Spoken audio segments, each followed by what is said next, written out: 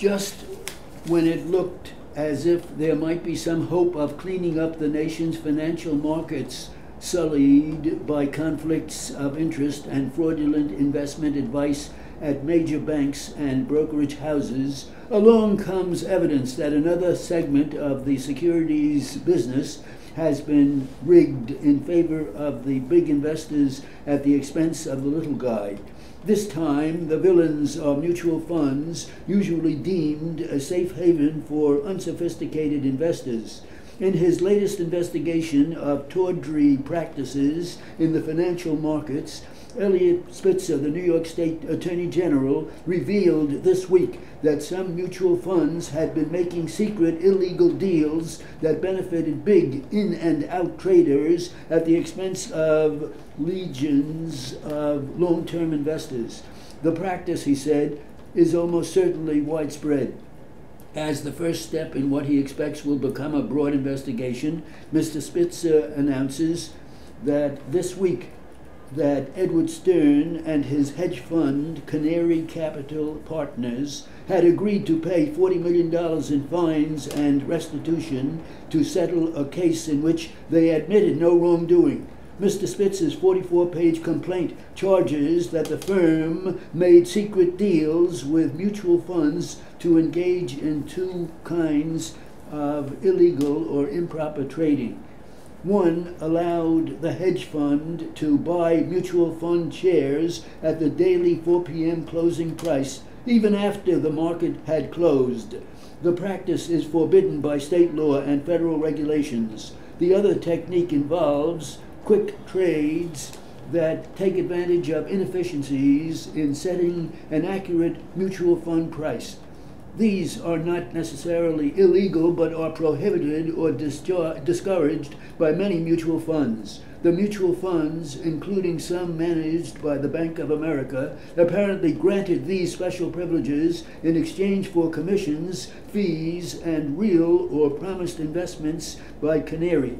The improper trading diluted the value of mutual fund shares but spread over hordes of investors. The damage suffered by any individual was probably small. Even so, the revelation that mutual funds have engaged in manipulative practices will be more shocking to most investors than any shenanigans by a hedge fund. Mr. Spitzer will need to pursue the mutual funds with special vigor.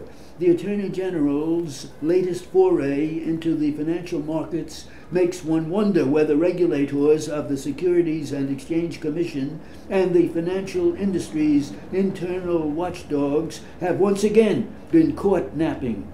The SEC chairman, William Donaldson, called the conduct that was described reprehensible, and his agency scrambled to mount its own investigation. Still, investors can be grateful that the Attorney General is once again propelling the inquiries. Efforts by some key figures in Congress to freeze the states out of financial market investigations seem incredibly misguided. The Bush administration's announcement that it is giving up on Miguel Estrada, whose appeals court nomination has been repeatedly blocked by a Senate filibuster is welcome news. The White House's drive to have Mr. Estrada confirmed while keeping key parts of his record secret showed contempt for the Senate's role and for the American public's right to know. The Senate has made clear its resolve to prevent the White House from packing the federal courts with unworthy judges President Bush should start renominating judges who can command support by both sides of the aisle. Mr. Estrada is a talented Harvard Law School graduate with a distinguished legal career, but he is reported to hold views that place him far outside the legal mainstream. At his conf- confirmation hearing for a seat on the powerful United States Court of Appeals for the District of Columbia Circuit, he repeatedly refused to answer senators' questions Incredibly, he claimed to have no opinion on whether Roe v. Wade, which legalized abortion, was correctly decided. As a lawyer in the Solicitor General's office, Mr. Estrada wrote memos that may well shed light on his views, but the White House adju- um, refused senators' requests to see them.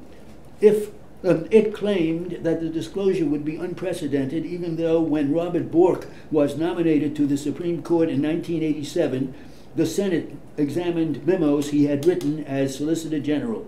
The Constitution says judges are to be appointed with the Senate's advice and consent, but the Bush administration has played a cat and mouse game trying to rush nominees through and demonizing senators who ask legitimate questions. This is an abuse of the system the founders established.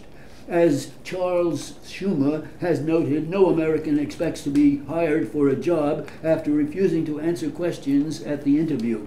The Constitution requires not only the Senate's consent, but also its advice, and it is on this score that the Bush administration has been most recalcitrant. Too hard. Recalcitrant? Recalcitrant. Recalcitrant.